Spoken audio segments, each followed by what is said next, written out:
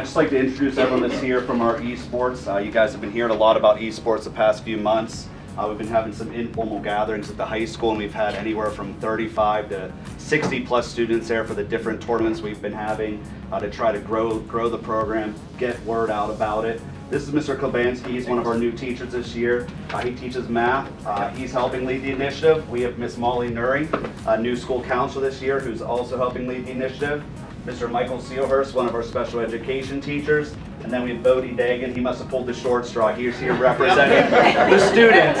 Um, so we have a lot of facts, a lot of details we want to share uh, with you about this program. We're really excited though, and I know also on the agenda tonight, if with your approval, would be a grant from Range Resources of $5,000 to help us get this program started as well. So I'm going to turn it over uh, to Mr. Sealhurst, or Mr. Sealhurst, Ms. Nuri, and Mr. Klebanski, and I know Bodie is going to be talking real quick. So. Well, hi everybody. Uh, yeah, just giving giving you kind of the overview of what we've been working on and esports at CM. Super exciting stuff. I, we started up what, back in February, March, talking about it and getting some kid interest. Uh, I'm not going to talk a whole lot of that's not my thing, but uh, I've been helping out with it and just excited.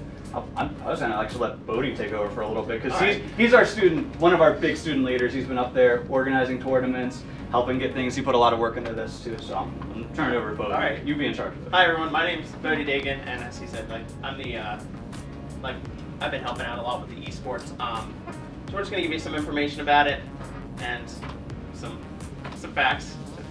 Slide. So what is esports? So esports is obviously just um, a well, Canon-Mac specific. It's a league where we're gonna have we're gonna have people from all across the school, anyone that wants to join, and we would play any kind of games. We've stuck to mostly like school appropriate, like because we don't want any. We we haven't set the initiative to any like violent games, I would say yet. But we've just been focusing on some like. it's gonna stay school appropriate. It's, yes. That's, yes. Anyway, always school yes, appropriate. We, are gonna keep it school appropriate, and um, we. It's just about getting people together. It's an opportunity for a lot of student leadership, a lot of student coordination. Like as you can tell, I'm right here talking like I would say. Um, but it's going to give a, a, lot of the students an opportunity to bond with other students and some of them to coordinate uh, some of the events. Good flip the slide. So here's our mission statement. It basically sums up what I just said. Like it's going to open the door for people to pursue careers um, and kind of gain those leadership skills that they might not be able to gain somewhere else. That's good for that side. So here's some facts where Miss Nuri is going to present to you guys. So, um, yeah, in case you haven't heard, the esports industry is booming in the last couple years. Um, as of today, it is over a $1 billion industry, and that includes advertisements, careers, players, scholarships, um, profit, all of it. So in 2020, uh, something I really love is that colleges are starting to hop on board, just like us. Uh, about 200 colleges started offering scholarships for esports, so players themselves, just like athletic players, can prove their skills, demonstrate their abilities, and then receive tuition for it. So I just think that that's really neat. The lists are growing more and more, so it's giving our kids who might not have other incentives to look forward to college after high school another opportunity to. I have, um, I have a um, question about that. Like, yeah. Are they providing the opportunity for the name, image, and likeness type of money that's being provided to athletes college? So I really think that we're still on the ground level of it. From all the research I've read so far, it more so aligns with academic scholarships. Um, I honestly foresee it going that direction at some point because this one day could become a potential sport at our school, more competitive, and I imagine it will get there because especially all the online streaming platforms for video games right now, there's so much potential to that. It's, it's going to get to that point. I just had a conversation with the head coach at WVU. They got the number one Madden player in the world. So he's going to WVU for free to play Madden.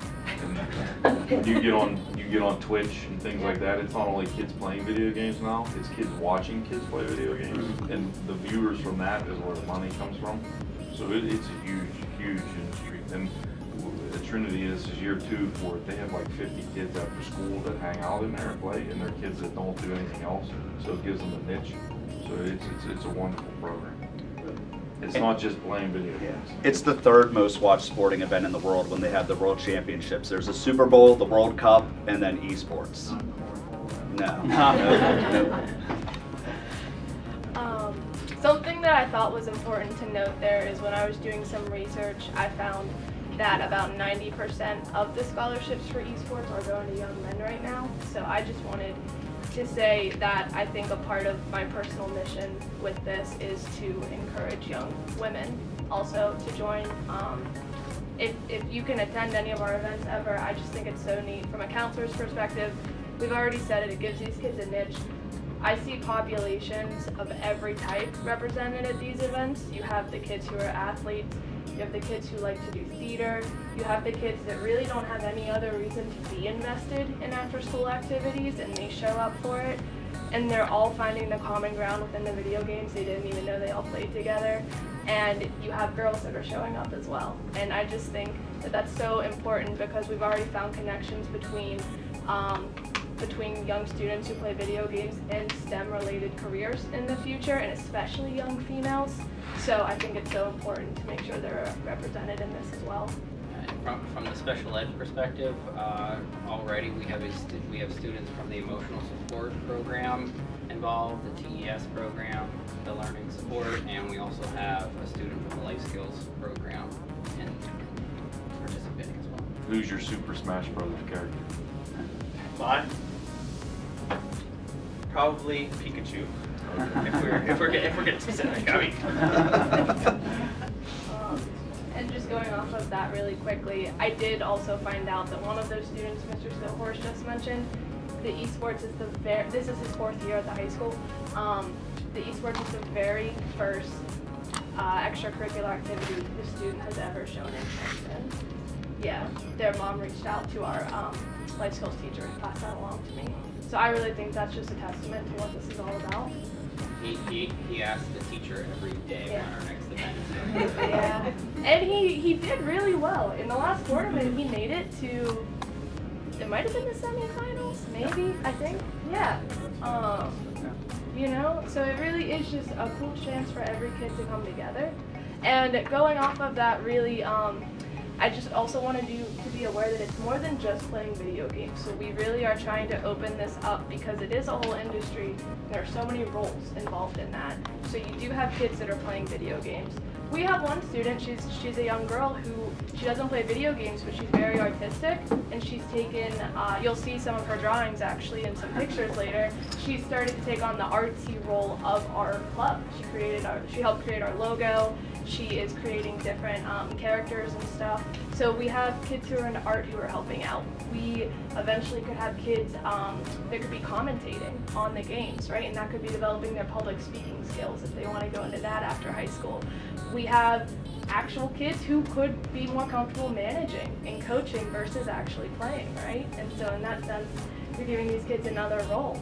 Uh, coordinating, Bodie is so humble, but if we could explain to you how well he directed our last tournament, it was our craziest and largest one yet, and it was fluid and changing at all times, and he really stepped up and above and beyond. And it was, it that last tournament was really student run. Yeah, You know, the yeah. kids they set up the equipment, they play, they manage the, the brackets, they figure out well what can work best, what can go most efficiently, can we have the how many TVs can we have playing at one time, and then they help clean it all up. So it really is a student-led and run organization, which um, which that's doing. Yeah, Was the tournament at the high school?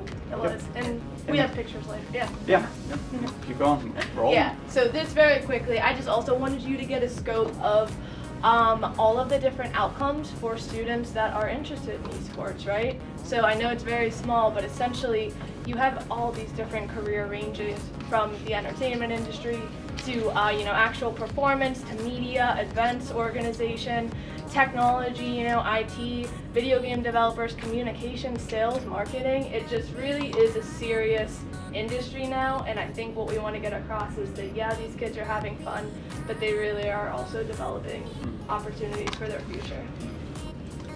Yep. And these are just a couple of pictures. So this was our interest meeting, and this is in the lower LGI room. We had, I, I did a quick head count. We, there was 90 kids that came out for for esports, which I think is huge. one of the bigger clubs, and just you know you get a big diverse group of people. Every everybody likes video games, not everybody, but most kids like video games in some way, shape, or form, and just that they're interested in this, I think is really cool. Actually, the flyer was designed by one of our student leadership kids, Hayden, made that. I think that that's awesome too. You get you know tech skills building that kind of stuff, but I think one of the coolest things about that meeting was we had kids thanking us for organizing the meeting, thanking us for, for wanting to do esports. It's something they've wanted to do for a while. They actually gave us a standing ovation Yeah, yeah, really during their meeting, which is unheard of. So I think that speaks a lot about how valuable this would be to our student body. You just keep going. There's just some different pictures. It's just showing all the kids. Actually, this was also a student-led meeting because I really don't like to talk a lot and lead meetings. So, uh, who was up there? Layton, Hayden, Mackenzie was leading the meeting, and they talked a lot. Ken was up there too. But it was cool. Yeah, we had a lot of people. Uh, we did breakout sessions. The kids led the breakout sessions because there's a bunch of different games in esports. Obviously, it's not just one game. It's kind of like a track thing where you've got different events. So different games. So kind of let different students run point on which game they're kind of most interested in. It was, it was cool. You keep going through some pictures here. This was we played a little bit of games afterwards. Just we set up the VRs. The kids were super into that. It Virtual reality. There's Grace in that picture, so we got you in there. Uh, yeah, I- it was hype. There's a lot of kids out there. They all gather on the TVs. That top left is actually Yep. me beating all those kids in Mario Kart. Yep.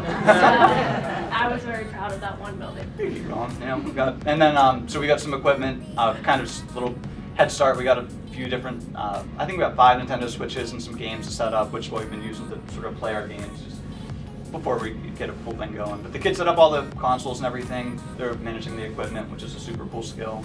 And then we had a Smash Brothers tournament. We had 29 people come out for Super Smash Brothers, which is just a game a lot of people like. It was pretty hype. We did a two-day bracket. It was fun. This was the Mario Kart tournament we just did what, uh, last Wednesday, I think, or two Wednesdays ago. But keep going to this one. There's, you see, uh, it kind of coincided a little with the volleyball players. So they were all out there, and that turned into like a huge thing. It was a spectator sport. You go ahead. We have, a, yeah, it was. Keep going. We got a. I think there's a video here at the end. Can you play this? This is just listen.